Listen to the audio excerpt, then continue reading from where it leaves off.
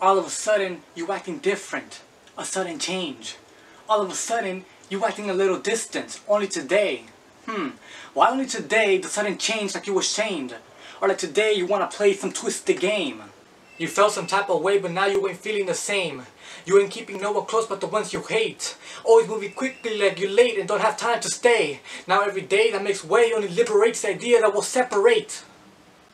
Sometimes things can be sudden, giving not one warning. One day you can be soaring in jubilee, the next day in mourning, losing all hope and ignoring the sorrow that's always pouring from inside of you, lowering motivation, and it looks like restoring any purpose in your life. The resiliency that cannot be easily diminished is nowhere near being a possibility, and that clearly is a sign that you're in between, consistently grieving with no hope and continuously giving into a false enemy.